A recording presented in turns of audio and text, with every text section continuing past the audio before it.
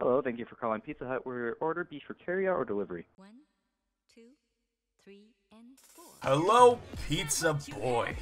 Today, What? the plan Sir, I can't is hear you over the music. simple. We're just gonna start off with a nice, solid, large cheese pizza. Okay. Cheese? Then we're gonna head Okay. over to the topping section. All right. We're gonna I really sprinkle a little you over the music. pepperoni, some olives, maybe some bacon time. Everybody, it's bacon time. Any baconers in the chat? Any baconers? Bacon? What? And then really we're just down the finish it off with a nice two liter of Coke. Should be a good pizza today.